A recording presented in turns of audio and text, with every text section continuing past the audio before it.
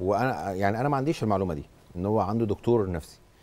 بس أنا توقعت إن هو آه، حتى الشخصية آه، ردود أفعال آه، اللعيبة في أرض الملعب وخارج أرض الملعب كان مع لعيبة الأهلي. مختلف تماما. فالبوزيشن بتاع الطبيب النفسي ده أعتقد ده حاجة جديدة على ال- على الإدارة الفنية للنادي الأهلي؟ جديدة في النادي الأهلي. بس خلينا فرق معاك ما بين ثلاث حاجات. ما بين الطبيب النفسي آه. والمعد النفسي آه. مع فرق رياضية وال life coach اللي بيستخدمه الفرق الرياضية هو المعد النفسي. المعد النفسي هو بيعمل إيه؟ هو بيحاول يهيئ الجو للعيب آه. ويشوف مشاكله ومشاكله ال- الذهنية والحضور يعني ال position ده كان موجود. قبل كده في الإدارة الفنية بتاعت لا ما؟ كانش موجود في النادي الأهلي. آه. ما كانش موجود في النادي الأهلي. ومش موجود عموما في أنا الكره مش قصدي المصرية. د- د- دكتور نفسي إن هو بيعالج لا لا آه، بيعالجهم دكتور نفسيا عنده لا. عنده مشاكل شخصية. بالظبط. آه آه على كده. صحيح. طبعا هو تحضيره مؤهل. أكيد طبعا. آه. صحيح صحيح. التحضير النفسي ال- ال- وبالمناسبة هو في في بعض اللعيبة بتلجأ في بعض الأوقات لأطباء نفسيين. لو المعد النفسي شاف إن الأمر تطور مم. عن الحد اللاعب معين ممكن يوديه لطبيب نفسي وشفناها قبل كده في, في لعيبة عالميين يعني مع بول جاسكوين مثلا في إنجلترا أو في كان إيه المشكلة اللي هو. راح ليها لدكتور نفسي يعني آه بالظبط الأمور ممكن تزيد عن الحد ومشاكل كمان الشخصية تدخل في مشاكل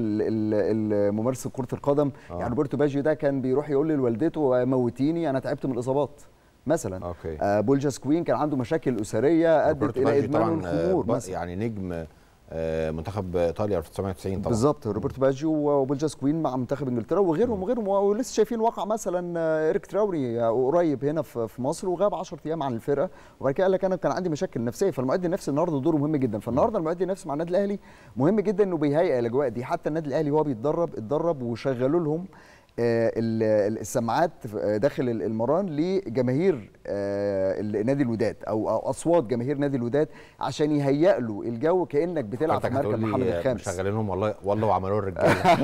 لا دي هتبقى بعد الماتش إن شاء الله بس يعني ده قبل الماتش. وبمناسبة أرتيتا عملها ال- السنة دي برضو كان عمران في ماتش آه شغلهم تخيلوا دلوقتي إحنا بنلعب في الأنفيلد ودي جمهور آه، ليفربول بيغني You'll آه، آه، never walk alone.